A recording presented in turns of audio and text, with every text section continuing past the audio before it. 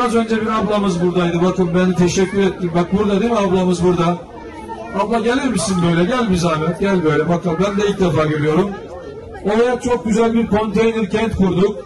Orada 3000 vatandaşımız yaşıyor. Gayet de güzel bir konteyner kent oldu. Oradan gelen bir ablamızdan dinleyelim. Nasıl olmuş? Hem kendinizi tanıtır mısın ablacığım? Buyurun. Kim ne derse desin yalan söylüyor. Devletimiz hep başımızdaydı. Her an arkamızdaydı. Biz de şimdi vatandaş olarak onca yoldan çıktık geldik ve 10 gündür misafir aradık kalıyoruz burada. Devletin şanımızı içimize taktık. Önce dedik vatan, oyumuzu kullanacağız geri Hatay'a, Antakya'ya döneceğiz. Çok güzel. Teşekkür ediyoruz.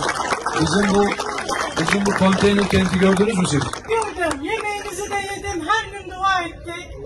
Hepinize, herkesten Allah razı olsun.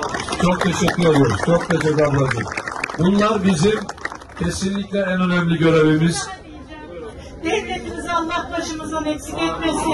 Ben de orada Rabbim uzun ömür versin. Allah razı olsun ablacığım benim. Çok teşekkür ederim.